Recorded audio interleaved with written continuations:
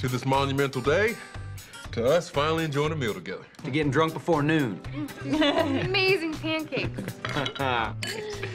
Who would have thunk it, huh?